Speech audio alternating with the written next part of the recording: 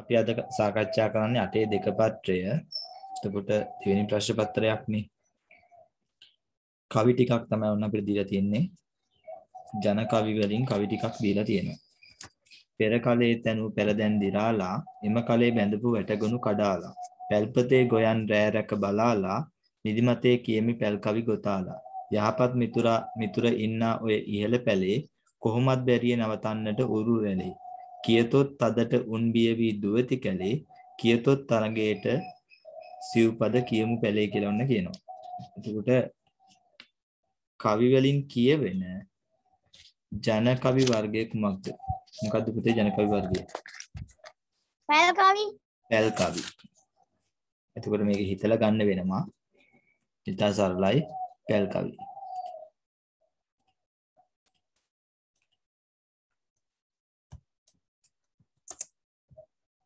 පැල් කවි. අතීතයේ තැනූ පැලට හා වැටට සිදුවී ඇත්තේ කුමක්දයි වෙන වෙනම ලියන්න. අපි බලමු මේක. පෙර කලේ තැනූ පැල දැන් දි รา ලා. නම් පැලට මොකද වෙලා තියෙන්නේ? දිරලා ඔව් දිරාලා. දිරලා කිව්වත් කමක් නැහැ වඩා හොඳයි දිරාලා. දිරාලා එහෙම තමයි ලියවෙන්න ඕන දිරලා කිව්වත් කමක් නැහැ දිරාලා. ඊළඟට එම කලේ වැටපු බැඳපු වැටගොනු කඩාලා. කඩාල් කඩාලම් එතකොට කඩාලා ගොනු කඩාල කඩාලා. ගොනු කඩාලා ගොනු කඩාලා බෑ. වැටගොනු කියන්නේ ඉතින් මේ සම්පූර්ණ කියන උත්තරේනේ තියෙන්නේ. ඒතර ගොනු කඩාලා කියන එක නම් ගැලපෙන්නේ නැහැ. එහෙනම් වැටගොනු කඩාලා කියලා කි- වැටට සිදුවී ඇත්තේ කුමක්දයි?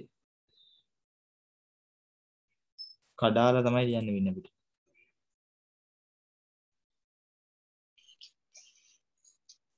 කඩාලා. ගොනු කඩාලා බෑ. ලකුණු දෙන්නේ 6යි හින්දා දෙකටම එක ලකුණ තමයි. ඒ කියන්නේ එක කොටසක් වැරදි කියන්නේ ලකුණු නැති වෙනවා. මෙම කවි ශබ්ද නගා දැවීමෙන් අපේක්ෂා කර ඇත්තේ කුමක්ද? මොකද්ද? කියතොත් අදට උන් බිය ඒකමද තුන්වෙනි එකේ තියෙනවා. කියතොත් අදට ශබ්ද නගා කීමෙන් උන් බිය වී දුවති කැලේ. හිතලා ලියන්න සතුන් නැලවීමට සතුන් එළවීම. සතුන් එළවීම. අදහසක් ඒ ආසන්න උත්තර පුළුවන්. කියතොත් තදින් උන් බිය වී දුවති කැලේ. නැත්නම් සතුන් බිය කිරීම. සතුන් එළවීම කියන්න පුතේ උන් බිය වී කැලයට යෑම පුළුවන්. කියතොත් තදින් උන් බිය වී දුවති කැලේ. පුළුවන් එහෙම. උන් බිය වී කැලේ. සතුන් බය වීම සතුන් බය වී යම් පුළුවන්.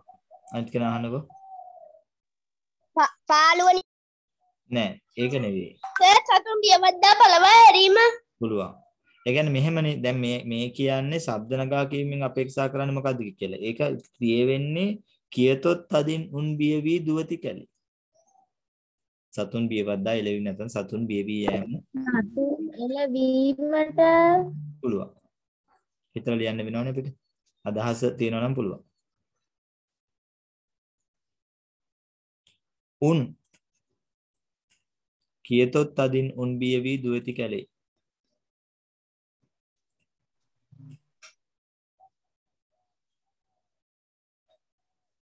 කවුද උන් කිව්වේ? ඌරු ඌරු ඌරු උරන්ට ඌරන්ට කමක් නෑ. ඌරු වැල තමයි වඩා හොඳ. ඌරෝ ඌරු. රැළ ඒක තමයි වඩා නිවැරදි උත්තරේ. සර් කියන්න පුතේ. ඌරා. කමක් නෑ.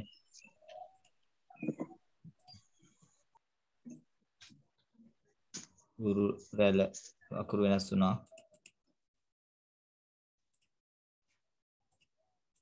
ඌරු රැළ තමයි ඉන්නේ වර්තමාන කාල ඒකවචන ක්‍රියාපදයක්.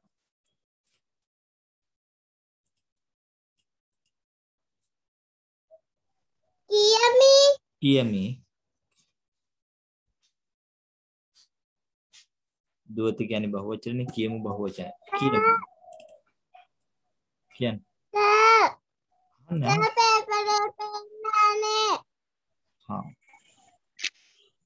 සර් ඔව් පුතේ ගොත්තල බැරිද? බෑ. ක්‍රියාපදයක් අපි ලිඛිත එකක් ලියමු. යෙමි කියලා එක තියෙනවනේ පුතේ ඒ හින්දා ලිඛිත එක ලියමු. කියමි.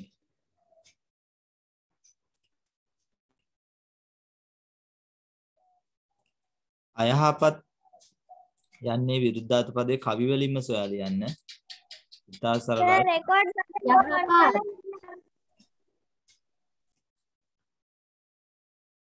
යහපත්. යහපත්. එතුළ ලකුණු හය දාගන්න මෙන්න මෙතන කොටස් දෙකක් වුණාට එක කොටසක් වැරදි නම් එක කියන්නේ එක ලකුණයි තියෙන එක කොටසක් වැරදි නම් ලකුණු ගන්න විදිහක් නැහැ. ලකුණු 6යි දීලා තියෙන්නේ ඡේදෙට. උක්ත පදයේ තෝරා යටින් ඉරක් අඳින්න උක්ත පදය පියෙකු මෙහෙමයි මෙතන ක කු එකනේ තියෙන්නේ අල්කා යන්නක් තියෙනවා කත් තියෙනවා කුත් තියෙනවා. ඕකේ තියෙන්නේ සම්බන්ධය තමයි දුවිපුතේ. සාමාන්‍යයෙන් අපි අඳුරන්නේ නැති කෙනෙක්ට තමයි සාමාන්‍ය මේ උක්ත පද කියන්නේ මේ අල්කා යන්න ඔය කයන්න අවසානට පාවිච්චි කරන අඳුරන්නේ නැති කෙනෙක් වගේ අදහසකට තමයි. ඒකේ උක්ත පදේ වෙන්නේ අල්කා යන්නෙන් අවසන් වෙන ඒවා. දැරියක්, මිතුරියක්, පීයෙක්, ගොවියෙක්, ළමයෙක්, ගුරුවරයෙක්, සතෙක්, සිව්පාවෙක්, කුරුල්ලෙක් අල්කා යන්නේ. ඒතර ඒක අනුක්ත වෙනකොට ස්ත්‍රී ලිංග නම් ක වලින් අනුක්ත වෙනවා. පුරුෂ ලිංග නම් කු වලින්. පියෙක්කු, මිතිරියෙක්ක, දැරියෙක්ක, දරුවෙකු, ගොවියෙකු, ගෙවිලියෙක්ක අනුක්ත වෙන්නේ එහෙම. ඒතර ක කු අනුක්තයි උක් උක්තයි. එහෙනම් මෙතන උක්ත පදේ වෙන්නේ දැරියා.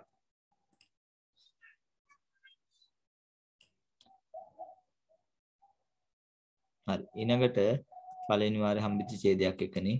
ලබුවල බින්තන්නේ ජන ජීවිතේට නැතිවම බැරි දෙකිනේ බින්තන්නේ ජන ජීවිතයට ලැබුවල නැතුවම් බැරි දෙයකි. කමක් නෑ අදහස තියෙනවා.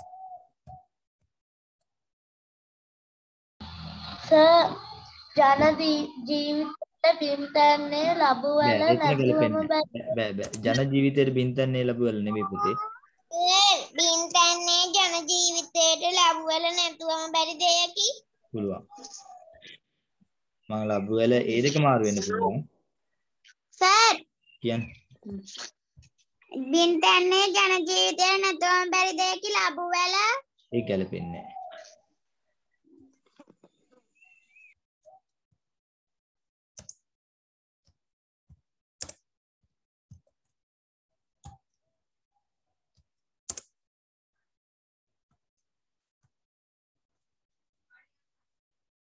මයන අනිවාර්යයෙන්ම ඈත් වෙන්න ඕනේ.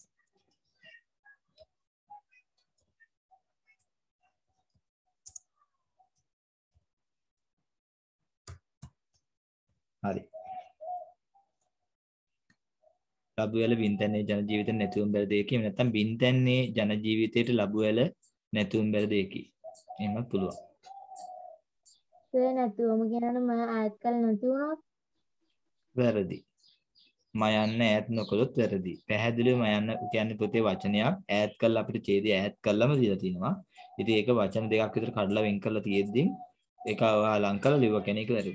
ඒව පුරුදු වෙන්න. මොකද ওই විදිහේ දේවල් සමහරවිට බලනවා. මේක හයිලයිට් කරලම බලන අවස්ථා තියෙනවා. ශිෂ්‍යත්ව කියන්නේ පුතේ එහෙම තමයි. ඒ සමහර කාරණා කියන්නේ උත්තර පත්‍ර උත්තර පරීක්ෂා කරන ගුරුවරුන්ට මාකින් ස්කීම් එකක් දෙනවනේ. ඒ මාකින් ස්කීම් එකේ මේක බලන්නම කියලා අවස්ථා දෙනවා. ඒ දුන්න ගාම එහෙම එකක් වෙන්න පුළුවන්. එහෙනම් මම කියන්නේ මේක සැලකිලිමත්ව ලියන්න ඕනේ. එන්න එහෙම එකක් තිබුණොත් වැරදි. ඒ වැරදි ගැන ඉන දවසේ හදා ගන්න. වරහන් තුලින් තෝරා ලියන්න ඕනේ.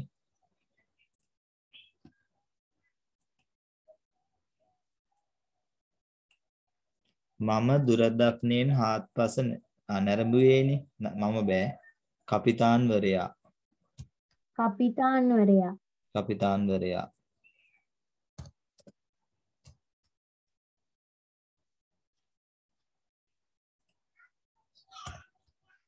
ඊළඟට මාස හතරක් පුරා යාත්‍රා කළ- කළෙමු අපි. අපි දැඩිසේ පීඩාවට පත්ව සිටිහ කාන්තාවෝ. කාන්තාවෝ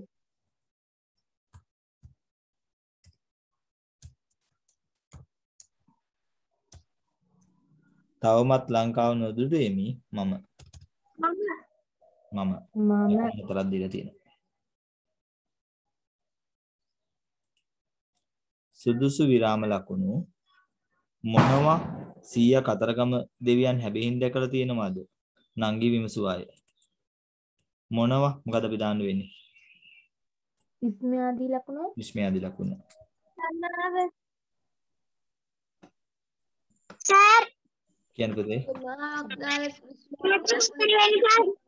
හතරවෙනි ප්‍රශ්නෙට ඒ හතරම කියන්නේ කිද කපිතාන්වරයා අපි කාන්තාවෝ මම මම හැබැයින් දැකලා තියෙනවද ප්‍රශ්නාර්ථ ලකුණු යොදන්න ඕනි. ලකුණු ඒ ප්‍රශ්නාර්ථ ලකුණු යෙදුවම උඩුගුලකමා මෙතනට යොදන්න වෙනවා. මෙතනින් පටන් ගන්න වෙන උඩුගුලකමා අග තිත තියෙනවා.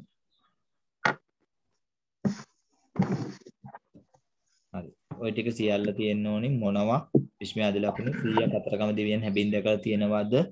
ඒක උඩුගුලකම ඇති ප්‍රශ්නාර්ථෙත් එක්ක අවසානයේ තිත.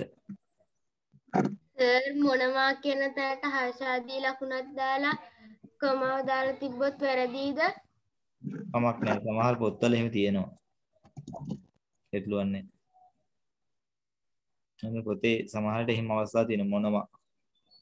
තාත්ත නවත්තන හින්දා කොමාවක් දාන්න පුළුවන්.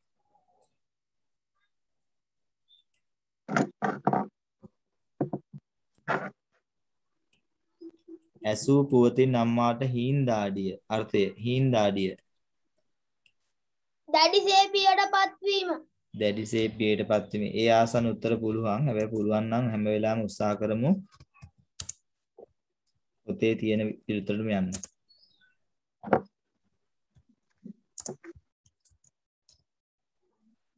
දැඩිසේ පිය සර් කියන්න පුතේ ඇසූ ඇසූ පමණින් අම්මා බිය වුණා බෑ ඉරියැදි පදය ඉරියැදි අහන්න ඉන්නකෝ ඉරියැදි පදයේ අදහස විතරයි ඇහුවේ අහගෙන ඉන්නකෝ ඔයාගේ ඊට පස්සේ අහන්න ඉරියැදි පදයේ අදහස විතරයි ඇහුවේ එතකොට ඒක විතරක් ඇහුවනම් ආයෙ වෙන දේවල් ලියන්න බෑ අනිත් කාරණා එකතු කරන්න බෑ පැහැදිලිනේ? හීන් දාඩිය කියන එකේ තේරුම විතරයි. එහෙනම් ඇසූ පමුණින් අම්මා කතාවක් කොහෙවත් එකතු කරන්න එපා. හරි දැන් අහන්නකෝ අය ගැටලු. සර් ඉතා බායට පත්වීම එක් බැද්ද? කමන්නේ. මම කියන්නේ උත්තර කිහිපයක් මේ අදහස් තියෙනවලු පුතේ කිව්වම් මේකේ. හැබැයි වෙලපොතේ දැන් මේ මේ කාරණා ටික මම ටියුට් එකකුත් එක්ක කතා කරානේ.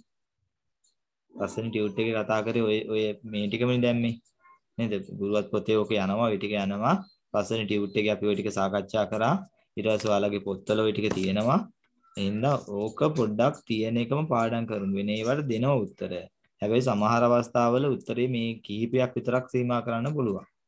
ඒතර මේ උත්තර අහිමි වෙන්න පුළුවන්. ඒ හින්දා අපරාධේ මම කියන්නේ මේ පොතේ තියෙන මොකද 15 වෙනි තියෙන්නේ. ඉංග්‍රීසි වැකි නැත්තම් රූඩි තියෙන්නේ 15යි. ඊට වැඩිය නැහැ. ඒ ඔය 15 පාඩම් කරගමු. හරි? තමක් නැහැ. අබමල් රේණුවක්. ඉතාම කුඩා ප්‍රමාණයක් ඉතාම ප්‍රමාණයක් ඊටාම කුඩා ප්‍රමාණයක්. ප්‍රමාණයක්වත් ඔව් එහෙමත් පුළුවන්. ඉතා පොඩ්ඩක්වත් පොඩ්ඩක්වත් කියන ගුණ ගන්න. ඉතා ස්වල්පයක් ඉතා ස්වල්පයක් කමන්නේ. ඉතා ඉතා කුඩා ප්‍රමාණයක් ස්වල්ප ප්‍රමාණයක්වත් ඉන්න දැන් උත්තර කීපයක් ඇහුවට මට එකක්වත් එහෙම ඇහෙන්නේ නැහැ. මම මේක ලියලා ඉන්නම් ඉස්සෙල්ලා. ඊට පස්සේ අහමු. ඉතා කුඩා ප්‍රමාණයක් මේ මේක තමයි පොතේ තියෙන්නේ. එතකොට මේකේ ඊතා කුඩා ප්‍රමාණයක්, ඊතාම කුඩා ප්‍රමාණයක් කියලා තියෙන්නේ. ඊතා කුඩා ප්‍රමාණයක්, ඊතා ස්වල්පයක්වත්, ඊතා කුඩා ප්‍රමාණයක්වත්. තව පොඩ්ඩක් බෑ. පොඩ්ඩක් ගැලපෙන්නේ. ඒ කියන්නේ හිතලා ලියන එකක් නේ. ඒ කියන්නේ පොත ගැන කියවලාම නෑ. ඒකේ තියෙන අදහස් ගැන අවබෝධයක්ම නෑ වගේ එකක්. එහෙම බෑ. එහෙනම් අර ටියුට් එක ආපහු අරන් බලා ගන්න එහෙම නැත්නම් ඔයාලගේ පොතේ තියෙන ටික බලා ගන්න වෙන උත්තර? තව ගැටලු අහන්න පිස්ත තියනවනේ අම්මේ පිස්ත තියනවනේ හරි. එහෙනම් යන් අපිට යට එකට.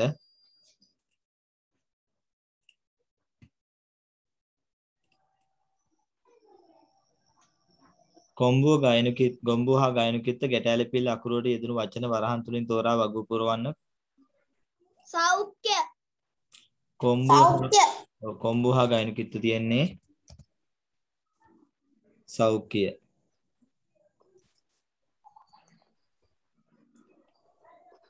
ගැටෑලපිල්ල. කෘතිම. කෘතිම.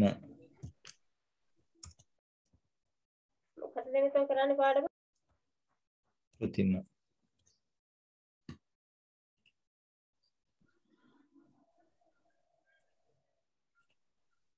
ලකුණු 1යි 2ම හරිනම්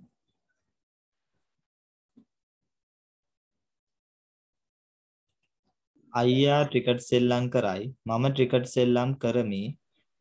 ද යන්නෙන් සම්බන්ධ කර එකක් ලෙස එහෙනම් අපිට ලියන්න පුළුවන් අයියාද මමද? අයියාද මමද ක්‍රිකට්? සෙල්ලම් මමද? මමද ක්‍රිකට් සෙල්ලම් කරමු. ක්‍රිකට් සෙල්ලම් කරමු. බහුවචන එනවා මම හින්ද ඉන්න හින්දා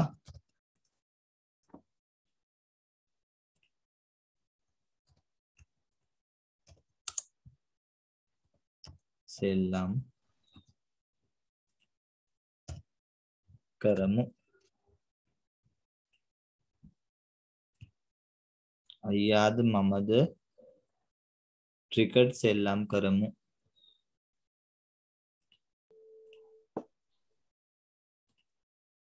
විරුද්ධ පදය වැරදි. නිවැරදි. නිවැරදි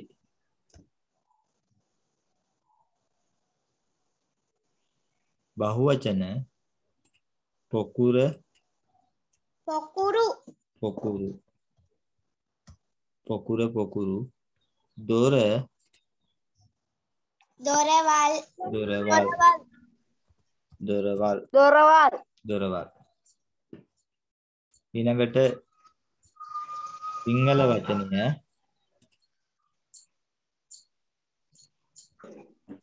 සිංහල වචනය කිචන් කිචන් කියන්නේ මුළු තැන්ගේ මුළු තැන් මුළු තැන්ගේ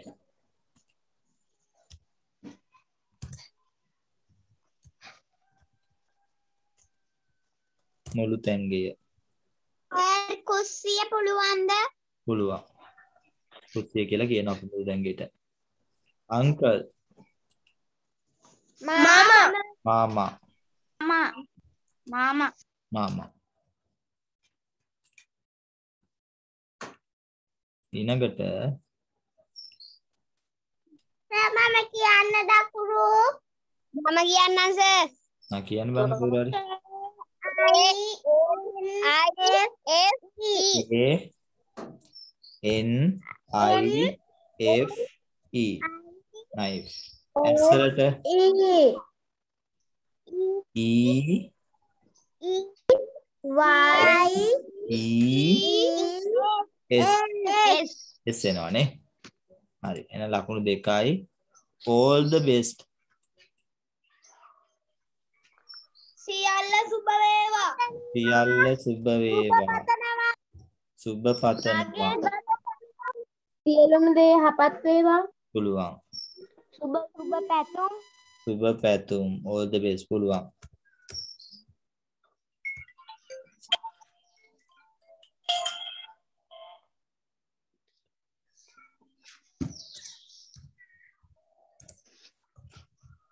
සියල්ල සුබ වේවා.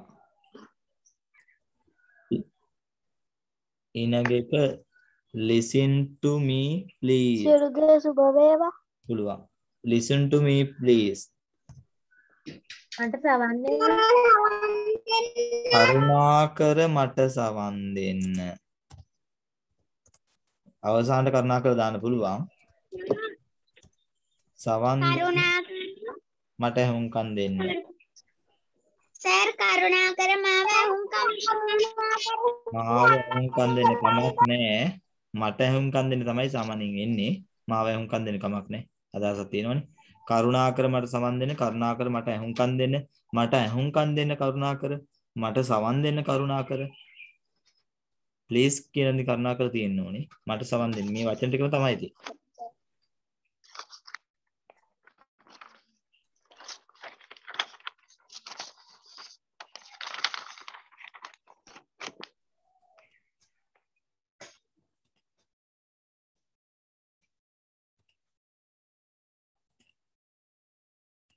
කදිරේ. පුටුව පුටුව. පුටුව. කදිරේ පුටුව. ගිරවා කොළ පාටයි කිලි පච්චේ නිරම් කෙලි එතන ලයන්න දන්ත ජුන්න පුළුවන් ප්‍රශ්නයක් වෙන්නේ නෑ කිලි පච්චේනේ කොම්බු දෙකක් යනවා සර් කොඹු දෙකක් එනවා. කිලි පච්චේ නිරම කිලි පච්චේ නිරම ගිරවා කොළ පාටයි අනු නවදස් නමසි අනුව යන සංඛ්‍යා නාමයට අදාළ සංඛ්‍යාංකය අනු නවදස් මෙහෙමයි. මෙන්න මෙතන සංඛ්‍යා ලියනකොට දුවේ පුතේ පොඩි කාරණයක් හිතට අරන් තියාගත්තා නම් කොහොමද සංඛ්‍යා කලාප දැන් ඔයාලගේ වෙන් කරන්න එපා. ඒ සංඛ්‍යා කලාප දෙක තමයි දහස් කලාපය සහ ඒක කලාපය. එහෙනම් දහස් කලාපය දහස් කියන එක අපි ලිව්වා ඉස්සල්ලා. 99000 ලිව්වා. තියෙනවා පරතරයක්. ඉතුරු එක ඉලක්කම් තුනකින් ලියවෙන්නේ. 990 නේ. 990 කොහොමද ඉලක්කම් තුනකින් ලියවෙන්නේ? හදිසියවත් ඉලක්කම් මදි නම් ඉස්සරහට බිංදු දාලා හදා ගන්න ඕනේ. ඔන්න ඔය කාරණේ තමයි තියෙන්නේ. 99990. හරිනේ. ගණක රාමුවේ ඇති සංඛ්‍යාවට පසු සංඛ්‍යාවේ සියස් ගණක රාමුවේ තියෙන සංඛ්‍යාවට පසු සංඛ්‍යාවේ සියස්ථාන ඉලුක ඉස්සලා ගණක රාමුවේ තියෙන සංඛ්‍යාව ලියලෙමු. මේ යටි ලියා ගන්නම්කෝ. ඒතර ඒක ලේසි. පළවෙනි එකේ තියෙනවා 4 තුන තියෙනවා. දෙකයි හතරයි හයයි අටයි නවයයි නේ? නවයයි. එකෙත් නවයයි. එහෙනම් පුතේ 4399ට පසු මේ 4399 තියෙන්නේ ඒකට පසු සංඛ්‍යාව පසු සංඛ්‍යාව කියන්නේ පුතේ 4400 සියස්ථානේ තියෙන 4 ඒකේ නිරූපණය වෙනාගේ එහෙනම් පුතේ 400 පැහැදිලිනේ පසු සංඛ්‍යාව ඇහුවේ. එහෙනම් ගාන නිරෝල්ල කියා ගන්න වෙනවා. ගාන නිරෝල්ල කියාගත්තොත් උත්තරේ ගන්න පුළුවන්. 4400 මේකට පසු සංඛ්‍යාව ඒකේ සිය ස්ථානයේ ඉලක්කමෙන් නිරූපණය වෙන අගය 400.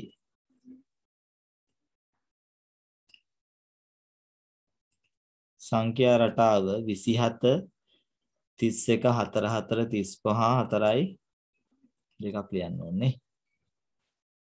39 හතලිස් තුන 43 හතලිස් තුන හරි. 98 103 108 ඒ කියන්නේ පහෙන් පහට. 100 එකසිය දහතුන එකසිය දහට 118 දහට. එතකොට මේකට එක ලකුණයි දෙකම හරිනම් මේ දෙකම හරිනම් එක ලකුණයි ලකුණු දෙක. වෙළඳසලක් විවෘත කිරීමේ අවස්ථාවට සහභාගී වූ තාත්තා එහිදී සබන් පෙට්ටි 8ක් මිලදී ගත්තේ. එක් පෙට්ටියක සබන් කැට 25ක් තිබුණලු. එහෙනම් මේ 25 කියන සංඛ්‍යාව අපිට සිදු වෙනවා 8ෙන් ගුණ කරන්න. තාත්තා රැගෙන ආ සබන් කැට ගන්න අහන්නේ එහෙනම් ගුණ කරමු 8ෙන්. 8ෙන් ගුණ කරොත් තාත්තා රැගෙන ආපු සබන් කැට ගන්න හොයාගන්න පුළුවන්. අට වාරයක් බලමු පුතේ. උත්තරේ නම් හදලා ඇත්තේ ඔයාලා. අට වාරයක් පහ 40යිනේ. 40න් බිඳුව හතරක් ඉතිරි එක පැත්තකින් ලියාගත්තා. අට වාරයක් දෙක 16යි 4යි 20යි නේ. 20යි. ඒ කියන්නේ 200ක්. 200ක් රැගෙන ආවා. වින් පෙට්ටි දෙකක් කර ඉතිරිය ළමා නිවාසයට දීමට තීරණය කළේ. ළමා නිවාසයට ලබා දුන් පෙට්ටි දෙකක් කියන්නේ පුතේ එක පෙට්ටියක 25යි නම් පෙට්ටි දෙකක් කියන්නේ 50යි. කියන්නේ 250ක් කියන්නේ 150යි. එහෙම නැත්නම් පෙට්ටි 6ක් තියෙනවා 25 6ක් 150යි කියලා ගන්නත් පුළුවන්. එහෙනම් තමයි උත්තර දෙකේ ඉන්නේ එකයි. ඒක තේරෙන්නේ නැහැ. මොකද්ද තේරෙන්නේ නැත්තේ? මේ දෙක. ඉන් පෙට් ඔයාලට මේ 200 ආපු එක තේරෙනවද? ඔව්. පුතේ ඉන් පෙට්ටි දෙකක් අර ඉතිරිය ළමා නිවාසයට දුන්නලු. එහෙනම් පෙට්ටි දෙකක් කියන්නේ පුතේ 25 පෙට්ටි දෙකක් කියන්නේ 50ක්. එතකොට 200න් 50ක් අඩු කරාම 150ක් ළමා නිවාසයට දීලා. එහෙම නැත්නම් පෙට්ටි 8යි ගෙනාවේ. 8න් පෙට්ටි දෙකක් අයින් කරා කියන්නේ පෙට්ටි 6යි ඉතිරි. 25 6ක් ගුණ කළ ගන්නත් පුළුවන් ඒත් 150 එනවා. දැන් තේරෙනවද? ඔව් සර්. ආ. කිකොන්නේ නෝ.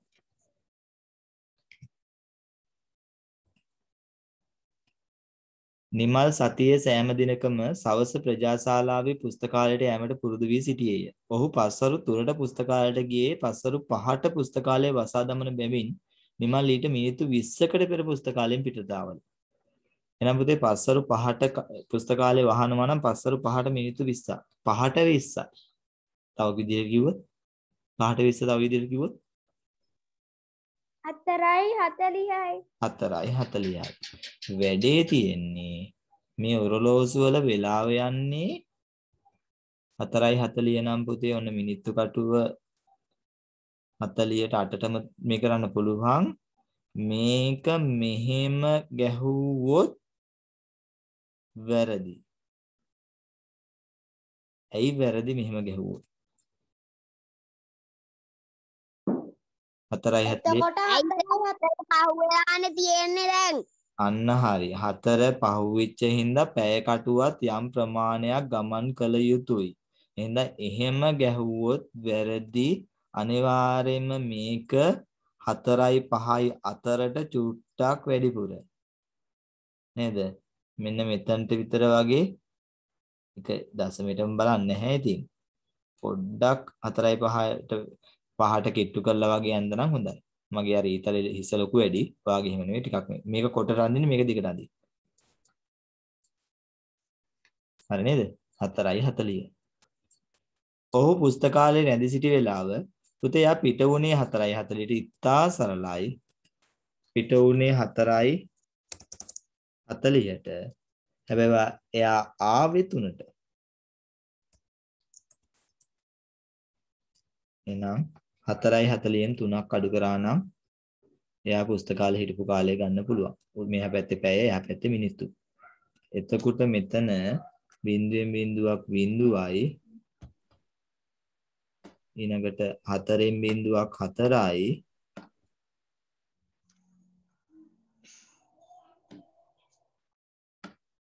ඊළඟට තුනේ හතරෙන් තුනක් එකයි. දැන් පැය එකයි මිනිත්තු 40යි මේ ආවේ. මම ලියනවා ඕක මෙහෙම. මට ඔයාලා කියන්න ඕනේ මම ලියපු උත්තරේ හරිද වැරදිද කියලා. ඉන්න පොඩ්ඩක්.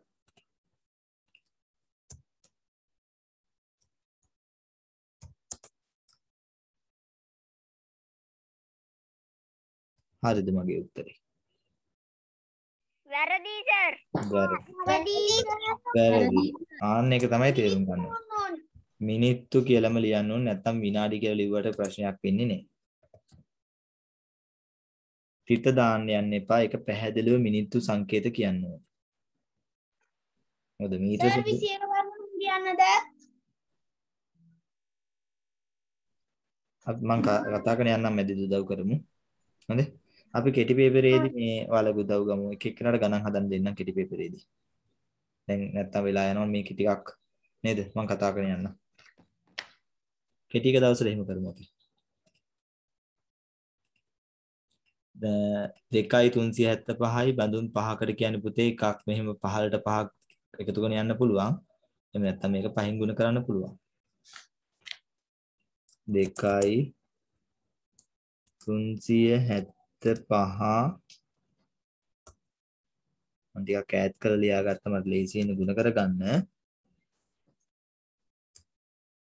ගුණ කරගන්න වෙනවා පහේ.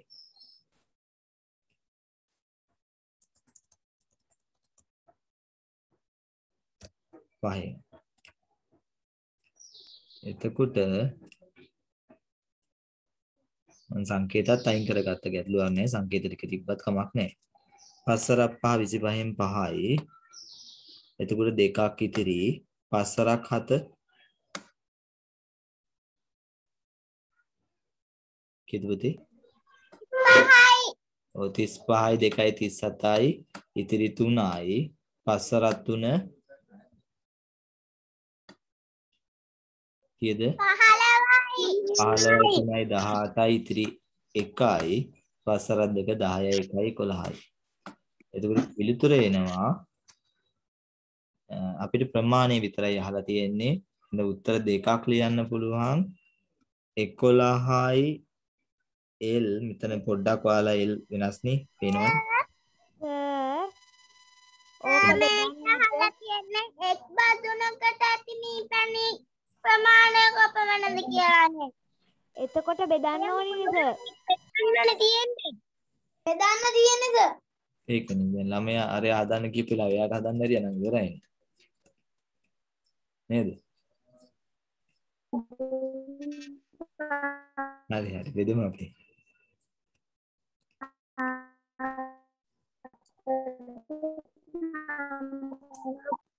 භාගයට ගණන් දීපුවම ඔක වෙනවනේ.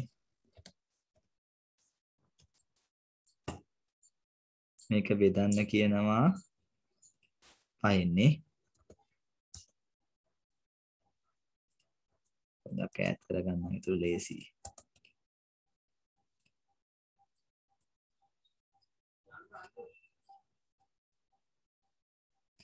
හරි. පුතේ ලීටර දෙකට ගන්න බෑ පුතේ පහේවා. දෙකට පහේවා ගන්න බැරි හින්දා අපි 23ටම බලමු. 23ට පහේවා හතරක් තියෙනවා. මේ හතර ලියන්නේ මෙතනින්. හරිද? ඒතර පස්සරක් හතර 20යි මේ දෙක මෙතනින් ලියලා බිඳුව මෙතනින් ලියන්න පුළුවන් මට. එතකොට පහලට එන්නේ 3 අතන එන්නේ නෑනේ 3යි මේ හත මෙතනට ගන්න පුළුවන්. 37ට පහේවා 7යි පස්සරක් හත 35යි එතකොට ඉතිරි දෙකයි. නේද? එතකොට මෙතන දෙකයි. අ, මෙතන පහයි 25ට පහේවා පහක් තියෙනවා. පහයි. පහයි. හරි. එහෙනම් 25යි පස්සරක් පහ 25යි ඉතිරි නෑ. මම උඩ සංකේත ටික දාගත්තේ නෑ. උනම් සංකේත ටික මෙතන දාගන්න පුළුවන් ඉතින් ml කියලා හරි. එහෙනම් උත්තරේ එනවා 405යි ml හරි.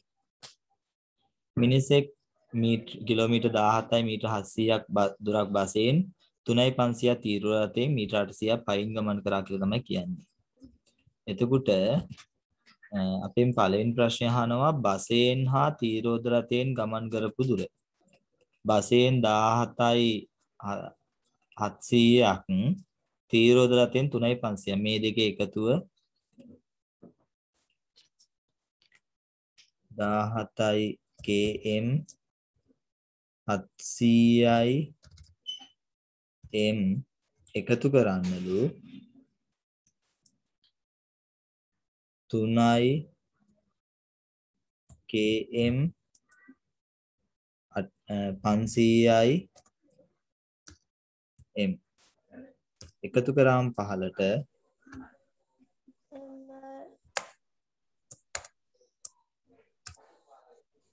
m මෙතන පුතේ 700යි 500යි 1200යි 200 ලිව්වා. එකක් ඉතිරි ඉස්සරහට එනවා. ඒකත් එක මෙතන 7යි 3යි 10යි 10යි 1යි 11යි ඉස්සරහට එකක් එනවා. ඒකත් එක දෙකයි. එනම් 21යි km 200යි m එනවා.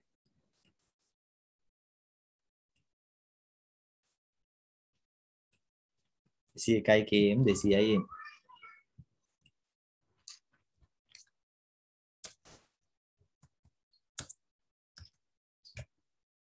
පයින් හා තීරෝධතින් ගමන් කළාට වඩා කුපන් ප්‍රමාණය බසයෙන් පයින් හා තීරෝධතින් මේ දෙක එකතුව 500යි 800යි 1300යි කියන්නේ 4යි 300යි 17යි 700න් 17යි 700න් අඩු කරන්න ඕනේ. 4යි 300යි පුතේ 700න් 300ක් 400යි මෙතන 13යි 13යි 400යි නේ 13යි km 400යි මේක තමයි මෙතන පිළිතුර.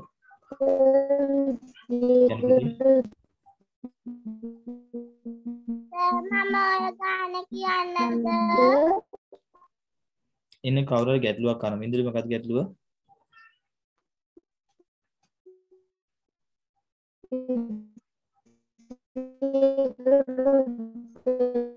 ඇහෙන්නේ නැහැ ඇහෙන්නේ නැහැ. ආපහු කියන්න බා.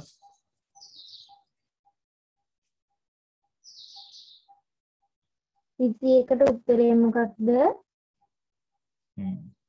විසි එකට 100කට. 475 මිලිලීටර්. ඔව් මිලිලීටර් 475යි. මම ඕක කියන්නද? හරි වා උදව් කරන්න මං හදනවා. මවගේ බර සඳුන් බරමෙන් දෙගුණයක් මං කතා කරන්නම් ඔයා මට උදව් කරන්න මං අහන ප්‍රශ්න වලට. මවගේ මර බර සඳුන්ගේ බරමෙන් දෙගුණයක් මවගේ බර දෙගුණයක් නේ පුතේ 25800 එහෙනම් සඳුන්ගේ බර හදන්නේ කොහොමද? මේකේ මවගේ බර 25 කිලෝග්‍රෑම් 800ක් කියලා තියෙනවනේ. ඔව් ඒක බෙදනවා දෙකෙන්. හරි. එහෙනම් මෙතන 25800 දෙකෙන් බෙදන්න ඕනි. කීයක් එනවද? 12 kg 900යි g. 900යි G. එතකොට සඳුන්ගේ බර 12 kg 900යි g. ඒ කියන්නේ මේ 800 දැන් බෙදන්නේ පුතේ මුලින් ඉඳලා 24 දෙකට බෙදුවම 24 25 දෙකට බෙදුවම 12 ඉතිරි එකයි. ඒක කියන්නේ 1800යි මේ පැත්තට. 1800 කියන්නේ 900යි 12 kg 900යි හරි ඒක ලේසි එකක් බෙදන්න තිබුණේ. කිලෝග්‍රෑම් 12යි 900යි සඳුන්. මවයි වගේ දෙගුණයක් හතරෙන් බෙදුව විට ඉතුරු නොවන නවයෙන් බෙදුව විට ඉතිරි වන සංඛ්‍යාව. හතරෙන් බෙදද්දීන් පුතේ හතරවරක් චක්‍රයේ ඒක ඉරට්ට සංඛ්‍යාවක් නිසා මේක හතරෙන් බෙදුවම ඉතිරි ඉතුරු වෙනවා. එකත් වෙනවා. එහෙනම් ඉතින් උත්තරයක් ඇවිල්ලා ඉවරයි. 380ට පුතේ 360 බෙදෙනවා. 360 බෙදනවා කියන්නේ ඊළඟට 380 බෙදෙනවා 388ක් බෙදෙනවා. ඔය හතරෙන් බෙදෙනවා. 9න් බෙදුවම 36යි කියන්නේ 28යි 28 9න් බෙදෙන්නේ නැහනේ. ඉතිරි වෙනවා. 388 මම ගත්තේ මෙහෙමයි.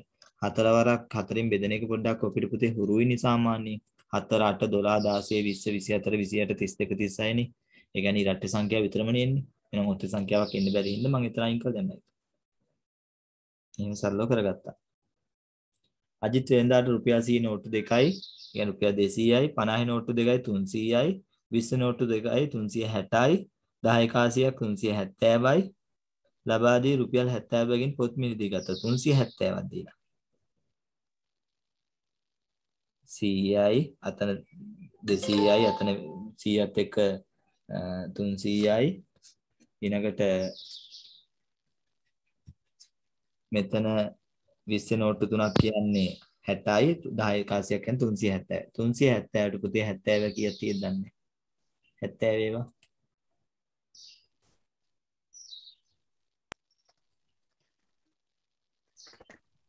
තුන්සිය හැත්තෑවට හැත්තෑව තුනයි. තුන්සිය හැත්තෑවට හැත්තෑව තුනයි නෑනේ පහයි. පහක් තියෙනවා හතර. පහයි නේ පුතේ තුන්සිය හැත්තෑවක්නේ තුන්සිය හැත්තෑවනේ හැත්තෑවයි එකසිය හතලියයි දෙසිය දායන සත්තර චක්‍රන පුතේ තිස් හතට අතේවා තිස් පහට අතේව පහත් තියෙනවා එමනේ එනම් ඉතිරි මුදල ඉතුරු මුදල 20යි. රුපියල් 20යි. හරිනේ? 20 නෙවෙයි.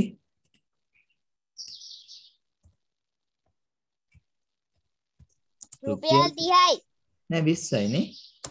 හදන්න ඕන හදමු අපි. අපේ හැදිරි නම් මම හැදුවේ පුතේ 100 නෝට්ටු දෙකක් 200යි 50 නෝට්ටු දෙකක් රුපියල් 100යි කියන්නේ 300යි 20 නෝට්ටු තුනක් රුපියල් 60යි 360යි 10 කාසියක් 370යි 70 140 210 280 350 ඒ කියන්නේ 5යි 350යි 370න් 350 කඩු ගන්න රුපියල් 20යි පිටුරු අංක දෙක. මේ රුපියල් 20 එන්නේ. අංක නෙවෙයි රුපියල් 20 එක්තරා මම 26 කියන්නද? කියන්නකෝ එන 25 රුපියල් මොකක්? 25ට පහ පළවෙනි එක දෙවෙනි එකට රුපියල් 20 හරි 26 කියන්න බෑ මේකේ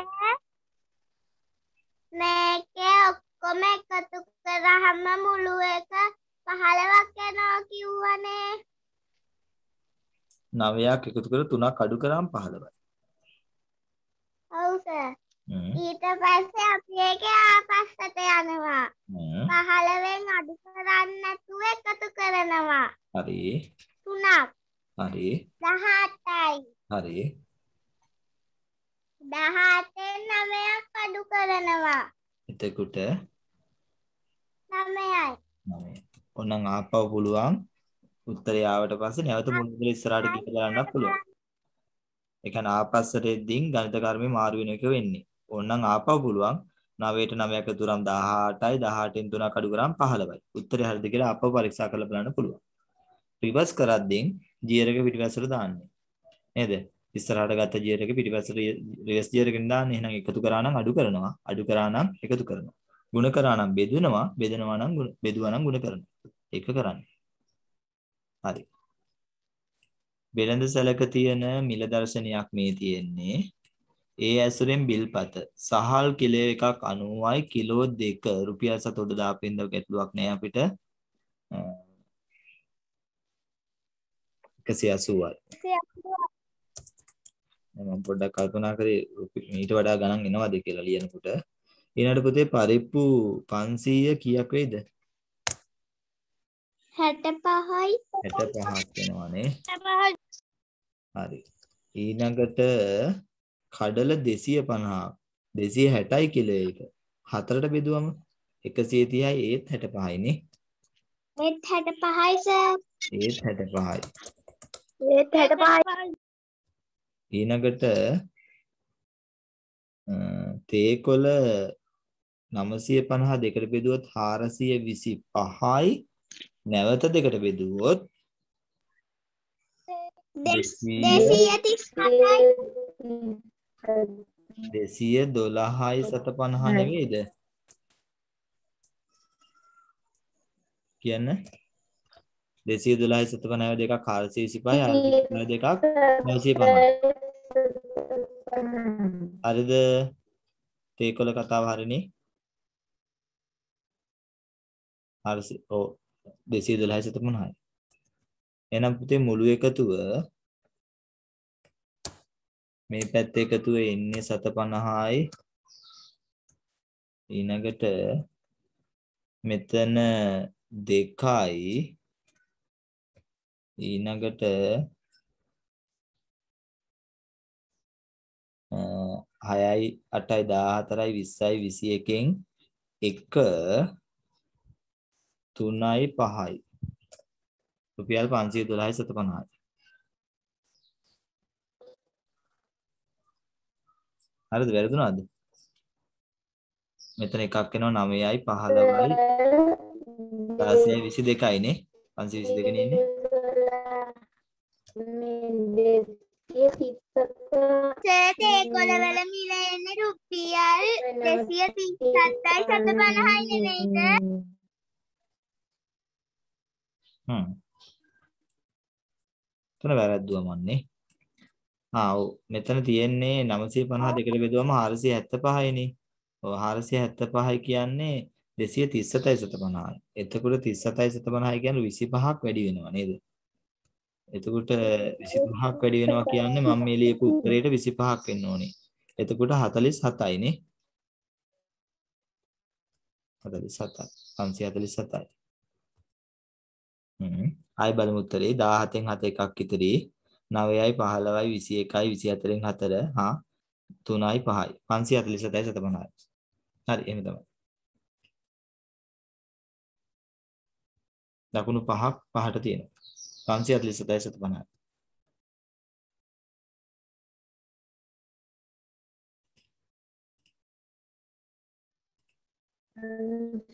රුපියල් 600ක් දුන්නම කියන්න පුතේ මුළු මුදලට එන්නේ 437යි 750 නෙවෙයිද?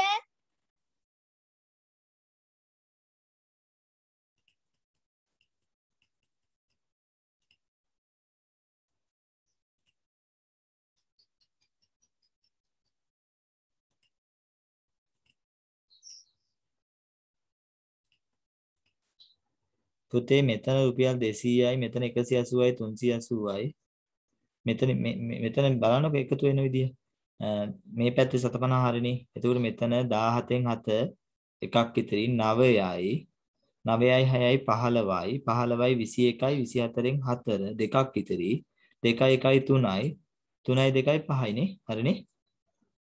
හරි සර්. හරි නේද? 537 හරි සර්. ඔව් 537 තමයි ඉන්නේ.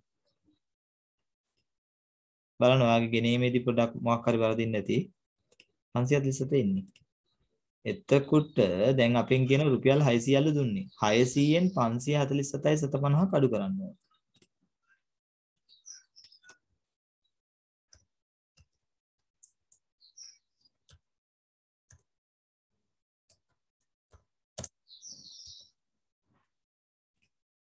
එතකොට වෙන්නේ 750 දැන් මෙතන ඉඳලම යන්න වෙනවා.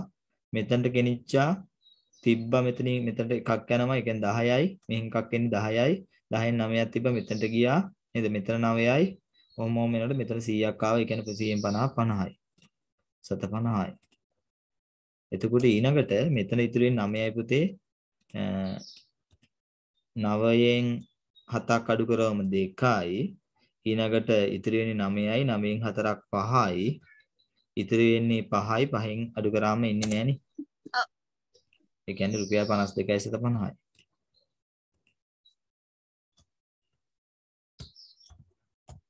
රුපියල්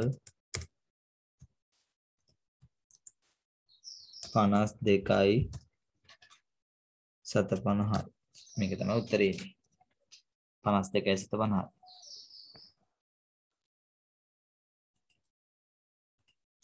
ගෙවත්තක් මැද කුඩා නිවසක් පිහිටා ඇත. නිවසට නැගෙනහිරින් පොල් ගසා.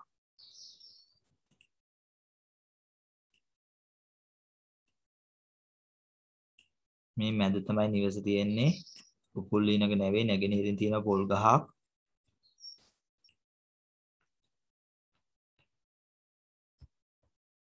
නිකමඩ පොඩිය නිකන් ඇඳගමු අපි. නේද? මොකක් හරි ගහක් නිකන් ඇඳගමුකෝ අපි. පොල් ගහක් තියෙනවා. හරි. අ, පොල් ගසට උ- උතුරින් peer ගහක්. ආ මෙන්න මේ පැත්තෙම තව ගහක් තියෙනවා peer ගහක් මෙතන. මේ පැත්තේ peer ගහක්. පොල් ගසට දකුණින් ලිඳක්. මේ පැත්තෙන් ලිඳක් තියෙනවා මෙන්න විතරනේ. හරි. ඒ අනුව නිවසට ඊසාන දිශාවෙන් ඊසාන කියන්නේ පුතේ මෙහි ඒ කියන්නේ පොල් ගස උතුරින් තියෙන peer ගස ගිනිකොන උපුල් ඊනග නැවෙන් ගිහින් ගිනිකොන තියෙන පුතේ ලින්ද සයි සාන දිශාවෙන් තියෙන්නේ මොකද්ද? පේරගසාවේ මට. ගෙවත්තක මැද කුඩා නිවසක් නිවසට නැගෙනහිරින්. උපුල් ඊනග නැවෙන්. ඒ කියන්නේ නිවසට නැගෙනහිරින් මේ පැත්තේ පුතේ ගස තියෙන්නේ. ගසට උතුරින් පේර ගහ කියන්නේ මෙතන. ඒකනේ පුතේ මෙයාගේ නිවසට ඊසාන කියන්නේ උතර මෙතන තියෙන පේර ගස. ඊසාන පැත්තෙන් තියෙන මොකද්ද කියලා අහුවම පේර ගස. ඊනගට වෙනස් වෙනවානේ? ගිනිකොන දිශාව. පේරගස හරි දාගන්න එක. ඊනගට ගිනිකොන දිසාවෙන් ඒ කියන්නේ යට තියෙන්නේ ඒ පැත්තෙන් තියෙන පුතේ ලිඳ ලිඳ ලක්ෂණ දෙකයි. පළමු දිනේදී පෙදරේරුවා මීටර 4යි සෙන්ටිමීටර් 25 දෙවෙනි දිනේදී 5යි 75 25යි 75යි 100යි කියන්නේ මේ පැත්තට එනවා. 5යි 5යි 10යි දෙවෙනි දින අවසාන විසින් ඔබ බඳින අපේ මුළු දිග මීටර 10යි එකතු කරන්න නැති නේද ඔයාලා?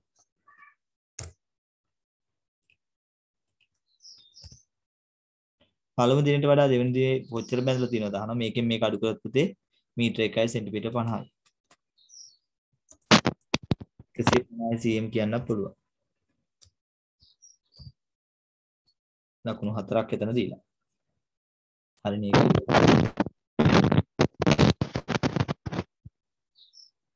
හරිද? හ්ම්. සංගුව. සයිනරේ නාද කිරීමෙන් තොරතුරු සංනිවේදනය කරන ස්ථානය කොහෙද පුතේ තේවත්ත. හා. රෝහල. තේවත්ත මේක පේනවද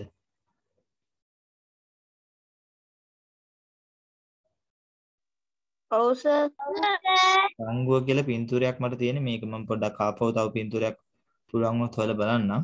මෙහෙමයි. පොඩ්ඩක් ඔය බණ්ඩාර පැත්තේ කට්ටියකින් අහුවනම් ඔය වැඩේ දන්නවා. දැන් මම අහලා දෙනවා අපේ තාත්තත් මේ ඔය පොඩි එක්කෙනා මට පේන්නේ නෑනේ.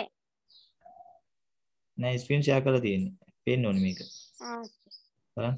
මේ තාත්තත් කියන පොඩි එක්කෙනා අන්න වෙලාවට මේ සංගුව පිම්බයයි කියලා. ඒ කියන්නේ යාලට එක හුරුයි මම චුට්ටක් අහලා බලන්නම් සංගුව පිම්බිනවා සාමාන්‍ය දැන් අදටත් ඒවා තුල කරනවා දැන් එක එක ඒ වගේ තියෙනවා තේ කර්මාන්තශාලාවල ඔය මේව සමහර විට පාවිච්චි කරනවා තාම ඒක අර මේ විරාම ගටිකාව ඒත් ඒ මේ කර්මාන්තශාලාවල පාවිච්චි කරනවා දැනට නේද වැලි වලින් අර වැලි මේ වෙන්නේ තාමත් තේ කර්මාන්තශාලා ඒවා පාවිච්චි කරනවා හරි ඒතකොට සංගුව සාමාන්‍ය පිම්බින්නේ නාද කරන්නේ يعني එයාලා වැඩ කරන දෙමළයිනේ වැඩ කරන්නේ එයාට පණිවිඩයක් දෙන්නේ. දැන් කෑම හරි දැන් නවත්තනවා හරි පණිවිඩය දෙන්න තමයි සංගෝ ගහන්නේ.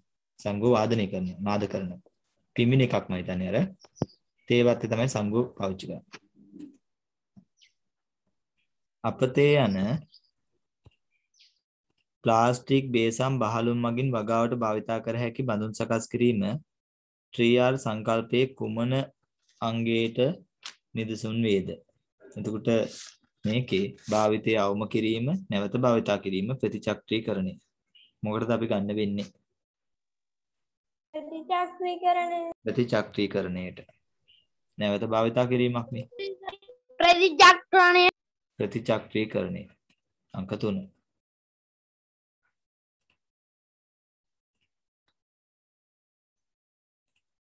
දොඩම් සහ බිත්තර යන ආහාරවල බහුලව අඩංගු පෝෂක පදාර්ථය පිස්ටේ සාමාන්‍යයෙන් මේ වගේ නැහැ. නේද? පිස්ටේ කියන එක කොහොමත් මේ වගේ නෑනේ. එතකොට විටමින් තියෙන්නේ උත්තරේ කීයද? 31ට උත්තරේ කීයද? අංක 3 ප්‍රතිචක්‍රීකරණය ආවේ. තුන ප්‍රතිචක්‍රීකරණය. මේකේ තියෙන්නේ පුතේ විටමින් C සහ විටමින් D. දොඩම් වල විටමින් C පිස්ටේ පළවෙනි එක ගන්න බෑ නම් තුන්වෙනි උත්තරේට යන්න වෙනවා. රුහුණු පිහිටි මායා කියන්නේ ලංකාවේ අතීත ශ්‍රී ලංකාව පාලනය සඳහා බෙදා තිබුණු ආකාරයක් නේ. රුහුණු පීටි මායා. තුන් සිංහලය කියන්නේ. මෙම නිර්මාණය දක්න ලැබෙන ඓතිහාසික ස්ථානේ කොහෙද පුතේ මේක තියෙන්නේ? ඉතුරුමුණිය පෙම්විවල.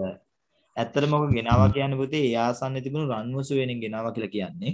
මොකද පන්සලක පෙම්විවලක සිතුවමක් පන්සලක තියෙනවා කියන එක අපිට හිතන්න බෑනේ. මොකද ඉතුරුමුණිය පන්සලක්. ඒතර ඒ ආසන්නයේ තියෙනවා රන්වසු වෙන කියලා උයනක්. ඒකින් ගෙනාපු කැටේමක් ගල් කැටේමක් දැන් ඉතුරුමුණියේ කෞතුකාගාරයක් තියෙනවා. ඒ කෞතුකාගාරය තැන්පත් කර දෙනවා මේක. ඉතුරුමුණි පෙම්විවල.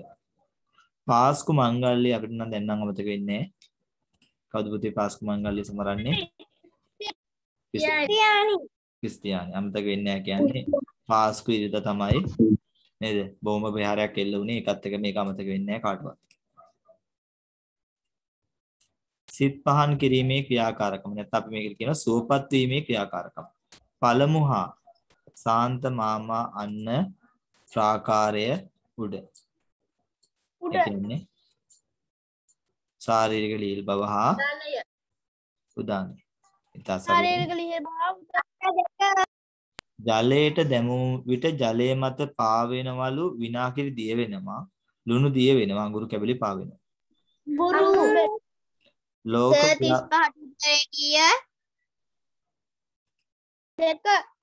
දෙකලුවා බලන්න. ලෝක දෙක ක්‍රිස්තියානි. හට දෙක. හරි හරි පුතේ. ලෝක ව්‍යාප්ත ජාලය. Www සම්බන්ධයෙන් වැරදි. දැන් පාවිච්චි කරන්න ඕනේ ඔයාලා වෙබ් අඩවියක් විවෘත කිරීමට වෙබ් ලිපිනයක් අවශ්‍ය වේ. ඔව්. වෙබ් අඩවියක් පිටු රාශියක් දි- ලෙස දිස්වේ. වෙබ් අඩවියකට ප්‍රවේශ වීමට කිසිදු විද්‍යුත් මෙවලමක් අවශ්‍ය නොවේ. ඒක වැරදි. ෆෝන් එකෙන්, ටැබ් එකෙන්, ලැප් එකෙන් ඒකනේ වෙබ් අඩවියකට යන්න පුළුවන් අපිට. නේද? වෙබ් ඇඩ්‍රස් එකකට යන්න ඉන්ටර්නෙට් යන්න නම් මොකාකාරී ඕනි විද්‍යුත් මෙවලම. අධික ශබ්ද හේතුවෙන් පරිසර දූෂණය සිදුවීමට වඩාත්ම විවහල් වෙන sannivedana මාධ්‍ය. මේ සුහුරු පනි පර- දුරකථනය කියන්නේ පුතේ ජංගම දුරකථනයමයි හිතන්නේ. ශබ්ද විකාශන යන්ත්‍රය. ශබ්ද විකාශන. සර් සූර්යපතනේ කියන්නේ ස්මාර්ට් ෆෝන් එකද පතනය සර් ඒක තමයි. ස්මාර්ට්ෆෝන්. ඔය සිංහල කම්පියුටර් පැත්තට යනකොට ඕකේ තියෙන සිංහල වචන. දැන් මවුස් එකට කියන්නේ මොකද්ද? නිකම් අහන්නේ මම මේ. මූසිකය කියලා කියන්නේ නේ. මවුස් කියන්නේ මූසිකය. කීබෝඩ් එකට කියන්නේ යතුරු පුවරු. ඔහොම තියෙනවා එක එක වචන. සමහර වචන නිකන් හරි ක- හුරු වචන නෙවෙයි. එහෙනම් සුහුරු දුරකථන කියන්නේ නේද? ස්මාර්ට්ෆෝන් යන්ත්‍රණ ජංගම දුරකථන තමයි. ඇස පමණක් මුල් කරගත් අතීත sannivedana ක්‍රමය කොඩි එසවීම තමයි ඇස පමණක් මුල් කරගත්තේ. අනබෙර ඇහෙනවා, දකිනවා, හූකීම ඇහෙනවා. කොඩි එසවීම තමයි ඈත කොඩියක් ඔසවම දන්නවා කොඩිය දාලා තිනකොට. යුද්ධෙදී ඔක විශේෂයෙන් පාවිච්චි කරනවා. කොඩි එසවීම. මේ තියෙන්නේ මොකද්ද පුතේ? සුලන් දිශා දර්ශකය. සුලන් දර්ශකය සුලන් දිශා දර්ශකය පාරට දිසාවක් සුරන් අඳිනවා. දිශා. ඉන්නකෝ මම දැන් දිසාවක් අඳිනවා. මේක මේ කෙලින් තියෙන චුට්ටක් ඇදුනට මේ මම ඕන එහෙමත් අඳින්න චුට්ටක් ඇදේට වගේ අඳින්නකෝ මේක. මම මෙහෙම දැන් දිසාවක් ඇඳලා හරිද?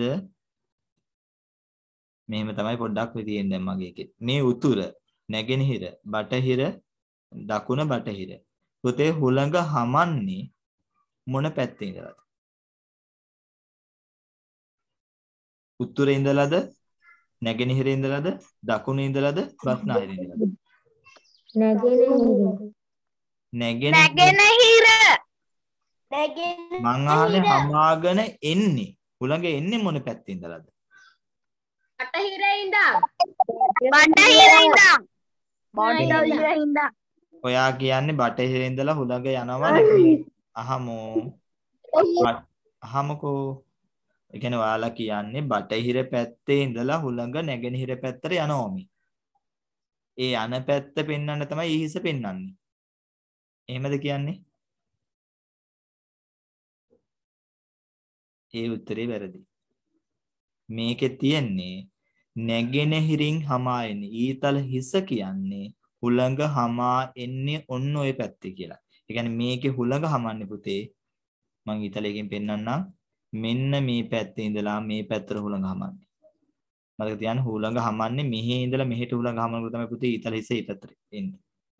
නැගෙනහිර සිට බස්නාහිර දෙසට තමයි හුළඟ හමන්නේ. ඒක මතකේ රඳව ගන්න. සුලං හමා එන දිසාව පැත්තට තමයි ඊතල හිස යන්නේ. බුලතා යෝධයා විසින් ඉදි කරන ලද වැව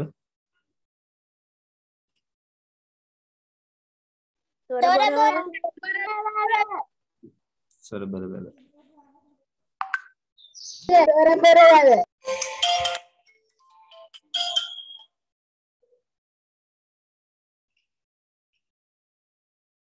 රබර් වැව ගැන පොඩි කතන්දර ටිකක් මම දවසක් කිව්වා. මම කිව්වා ඔයාලට පුළුවන් නම් පහ වසර පරණ සිංහල කියන් පොතේ සොරබර වැව ගැන පාඩමක් තියෙනවා කියව ගන්න කියලා.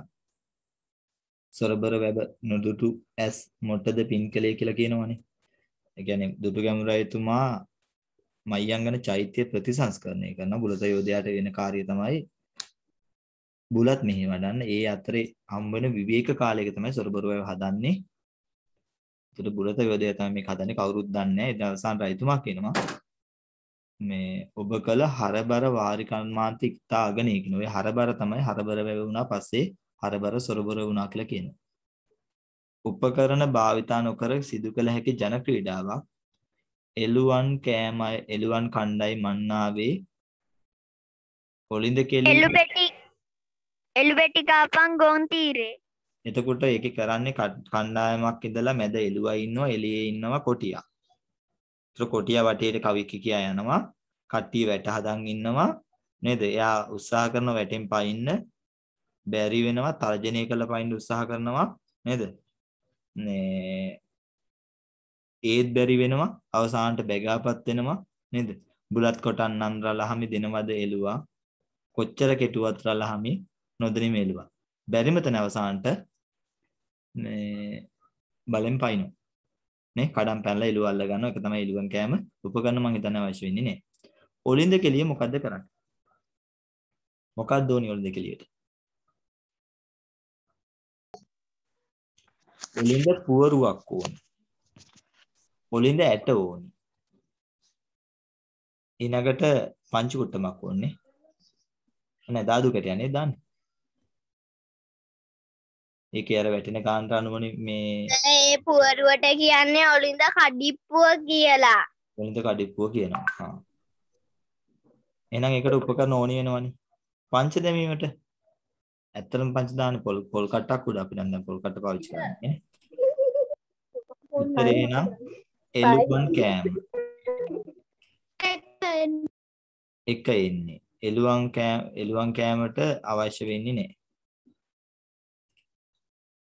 පාසලක ඇති වැදගත් තොරතුරු අනාවරණය කරගත හැකි ලේඛනය. සටහන් පොත ලොක් සටහන් පොත විදුහල්පතිතුමාගේ අයිතිය තියෙන්නේ අල්ලන්න නම් යන්න එපා. ඒක සාමාන්‍යයෙන් ගුරුවරයෙක්ටවත් අල්ලන්න දෙන්නේ නැහැ. මෙහෙමයි අපි ගිහලා සර් මෙහෙමයි ළමයිට පෙන්වන්න ඕනේ මොකක් හරි කිව්වොත් දෙනවා ඉතින්. අර ලොක් සටහන් පොතක පුතේ එහෙම සටහනක් තියන්න බෑ. ඒක විදුහල්පතිතුමා බාරේ විදුහල්පතිතුමා බැහැරට යනවනම් නියෝජ්‍ය විදුහල්පතිවරයාට බාර දෙනවා. එයත් නැත්තම් පාසලේ ජ්‍යෙෂ්ඨ ගුරුවරයෙක්ට ලොක් සටහන් පොත බාර දෙනවා. ලොක් සටහන් පොතෙන් තමයි පුතේ අලුතෙන් ගුරුවරයෙක් ඉදින් වැඩ බාරගන්නේ. එදා දවසේ සේවයට වාර්තා කරපු ගුරුවරු සටහන් කරන්නේ. ගුරුවරයෙක් අස්සල යනවා නම් ඒක සටහන් කරන්නේ. ඉස්කෝලේට වෙන පාසල්ට ලැබෙන හැම දෙයක්ම ලොක් සටහන් පොතේ ලියවිලා තියෙනවලු. ආකාරයෙන්ම තියෙනවා තව භාණ්ඩ පොතක් කියලා තියෙනවා. ඒතර උපකරණ වගේ දේවල් භාණ්ඩ පොතේ යනවා. ඒතර ලොක් සටහන් පොතේ ඒ විස්තරේ තියෙනවා. ලොක් සටහන් පොත. ඒක විදුහල්පතිතුමාගේ අයිතියක් ඒක ලේසියෙන් සාමාන්‍යයෙන් දාලා යන්නෙත් නෑ ඒක ලේසියි. ලොක් සටහන ඉතා වැදගත්. සිසුවෙකු ලෙස රටට සිදු කළ හැකි යුතුයකම. නොමිලේ ලබන පෙත්ත ආරක්ෂා කරන්න පුළුවන්. ජාතික කොඩියට ගත නොකිරීම හරියන්නේ නැහැ. ජාති විරුවන් නොසලකා හැරීම හරියන්නේ නැහැ. තාක මත රාත්‍රිය ගත කරන සිව්පා සතේ ගුඩුවා උගුඩුවා. කොකා.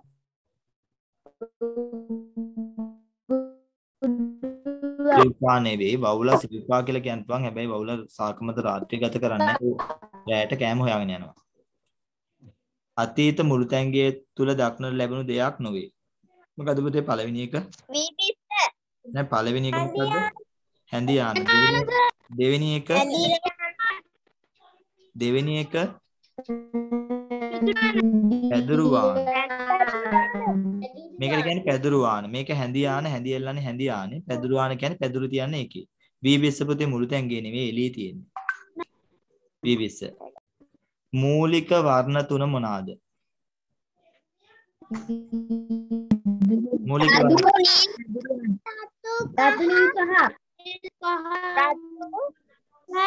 රතු නිල් කහ. කොළ හැදෙන්නේ කොහොමද? කොළ පාට හැදෙන්නේ කොහොමද? නිල්ලුයි කහයි එකතු වෙලා.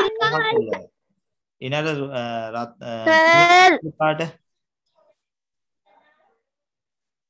තැඹිලි පාට. රතුයි කහයි එකතු වෙලා. මේ නදුන් පොඩක් අවසන්ට අහමු. ඉන්නකො නදුන් ප්‍රශ්න අහලා ඉන්නකො අහන්න අහන්න නදුන් අහන්න ගැටලු අහන්න.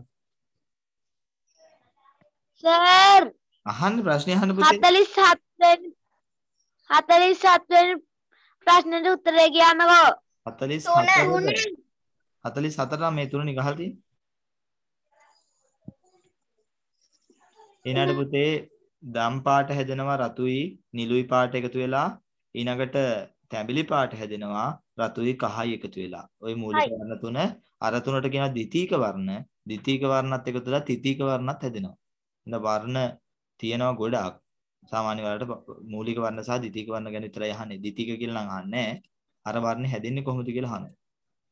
සුභාසිතය උපදේශාත්මක කවි ග්‍රන්ථයේ ඇතුළත් කවිය.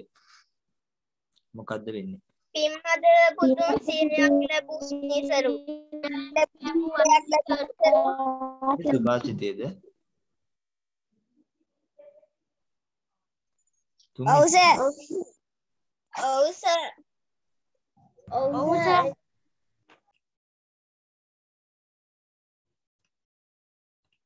පින්මද පුතුන් සියයක් ලදුවත් නිසරු ගුණ නැල බෙලෙන් යුතු පුතුමේ ඊතා ගරු. එක පුන් සඳින් දුරු වේ ලොව ගනාඳු අදින් දුරු වේලුව ගණන් දුරු නැත ලැසින් එලෙසට නොම වේය දුරු. අලගියවන්න මුකේටතුමා ලියපු සුභාෂිතයේ කවි වලින් තමයි මේක තියෙන්නේ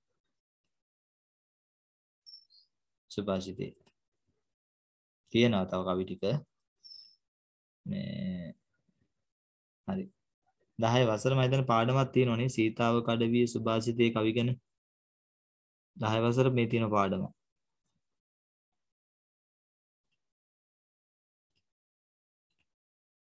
සර් අර සින්දුව තිබ්බ දහම් පාසල් හතර වසර පොතේ. ආ අංක 2 දහම් පාසල හතර වසර පොත තියෙනවා නම් බලන්න ඉතින් දහම් පාසල දරුවෝ. පිළිතුරු අංක 2 රූපවාහිනී නැරඹීමෙන් වෙන වාසිය යමක් සජීවීව නැරඹිය හැකිවීම වාසියක්. කියවීමේ රුචි අඩු වෙනවා දැන් පොතේ පත්තරේ රූපවාහිනිය අපිට කියලාම දුන්නා ඒක අවාසියක්. නැරඹීමට ඇබ්බැහි වීම අවාසියක්. වාසිය වෙන්නේ අංක 1 ස්වාභාවික අනතුරක් නොවේ. අකුණු සැර වැදීම ස්වාභාවිකයි නායෑම ස්වාභාවිකයි විදුලි සැර වැදීම ස්වාභාවික කඳේ ගෙටි හැට ගන්නවා දෙල් අතුවල බිලින් කඳේ පොල් එම කඳ නෙවෙයි සාමාන්‍ය නේද? කඳ කියලා විශේෂයෙන් කියන්නේ නැහැ එතන.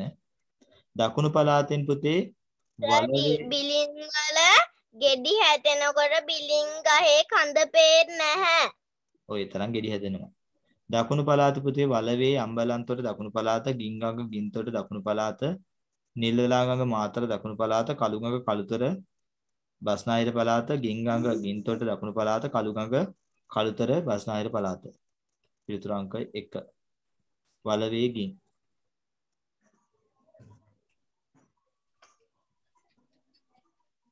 ජලය මගින් ව්‍යාප්ත වන බීජය රබර් පුතේ පිපිරීම.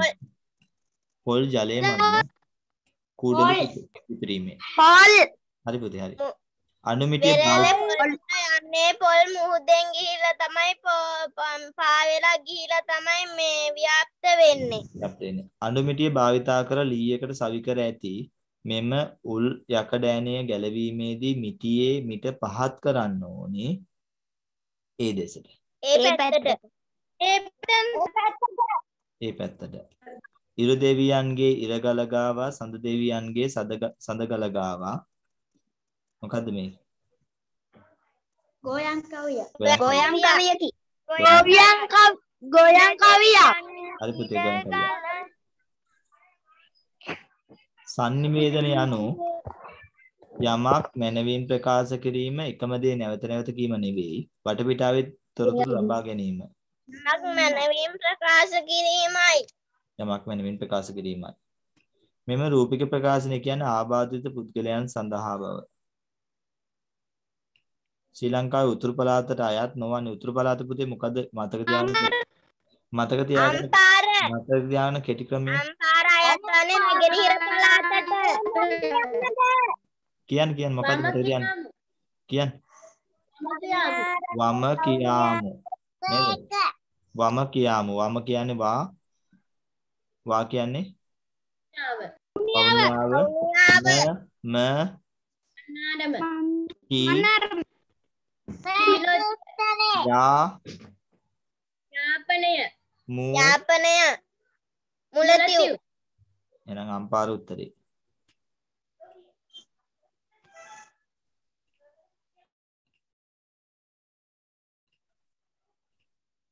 හරි. විවේක කාලය තුල විවිධ ක්‍රියාකාරකම් සිදු කිරීමට මිනිසුන් පෙළඹී තිබේ. ඒකී විවේකයේ පළදායි දෙයකට වැය කළ හැකිනම් වඩාත් වැදගත්ේ තමන්ටත් අනුන්ටත් ප්‍රයෝජනවත් දෙයක් කරමින් විවේක කාලයේ සතුටින් ගෙවා දැමීමට පුංචි කාලයේ සිට අප පුරුදු විය යුතුය. විවේක කාලය තුල විනෝදය ලබා ගැනීමට සිදු කරන ක්‍රියාවන් ගැන සඳහන් කරමින් මගේ විනෝදාංශය.